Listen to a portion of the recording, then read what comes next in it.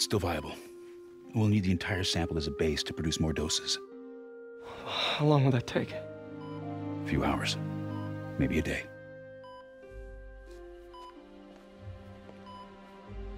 What if we use it to cure someone right now? Then there won't be enough to cure the others.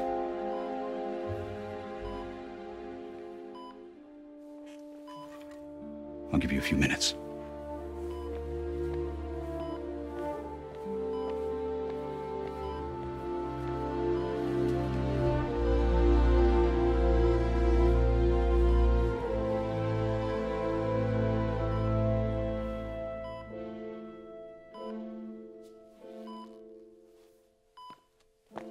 You're gonna be okay, ma'am.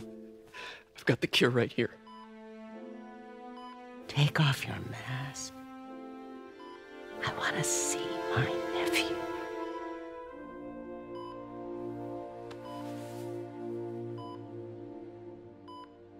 You knew? I've known for a while. I never wanted you to worry. I did. And I am so proud of you and Ben would be too. All the people you've saved.